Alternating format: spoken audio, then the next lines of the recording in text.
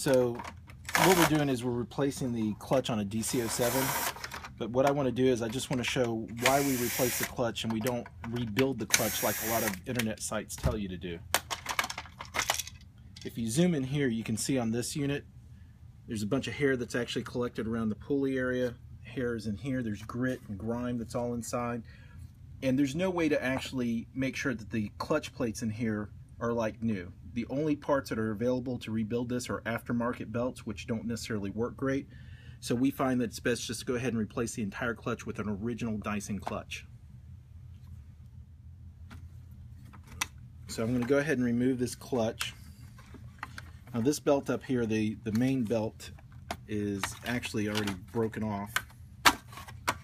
You can see all back in here. And this here's our new Dyson clutch.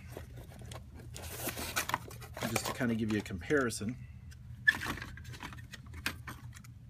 you can see condition of the pulleys and then also the belt. Here's the belt that goes to the motor versus on a new belt. You can see how stretched out that is. So we've got our clutch back installed. Um, I went ahead and cleaned out most of the grease that was up here in the tray. And um, what we're going to do now is we're actually going to replace the intake hose. This is another piece that most people don't ever think about changing. If you're going to go through the trouble of replacing the clutch and installing a new brush roll, it's only another eight to ten bucks to replace this hose. And you can see what happens is over a period of time it starts to take a shape and it, it loses its ability to keep this nozzle connected to the floor. And basically we just install it.